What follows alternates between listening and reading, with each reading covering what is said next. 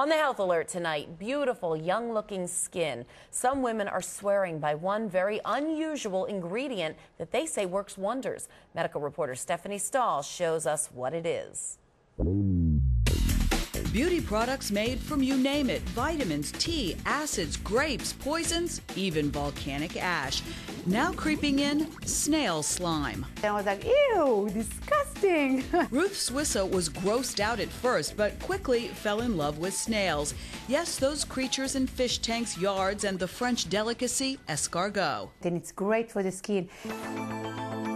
A variety of skin creams now contain snail secretions, claiming they ease wrinkles, acne, stretch marks, and generally make your skin look better. Ruth saw results in just two weeks. It was amazing, amazing. Snails secrete something called allantoin. It helps regenerate and protect their skin and shells. The snail doesn't get skin infections. The snail seems to do very well, so maybe it's this product that it gives off. Voorhees dermatologist David Finkelstein says there is some limited preliminary evidence that snail secretions can be beneficial to human skin. We might get more collagen, more elastin, we might get smoother lines or less lines on the face. We're always searching for those new products that might lead our skin to be more healthy and slow um, the normal process of aging. It's good for the wrinkles. Janice Monteleone used a product called H. spiruline, enriched with snail secretions. She says in three months, It has restored my face.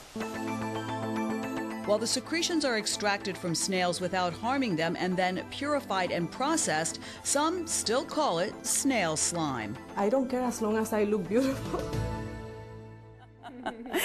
Now, but at this point, there is no scientific proof, and doctors warn that snail excretions could cause allergic reactions. There are dozens of different snail creams and formulas costing between 20 and $50. They are mostly available online, and the research is ongoing. Mm-hmm. But I don't know how you feel about snail slime on well, your well, skin. like you said, they put it in a nice smelling cream. Right, so exactly. For those willing to try anything once, snail slime. It All could be it. Right. Steph, thank you very Uh-huh. much.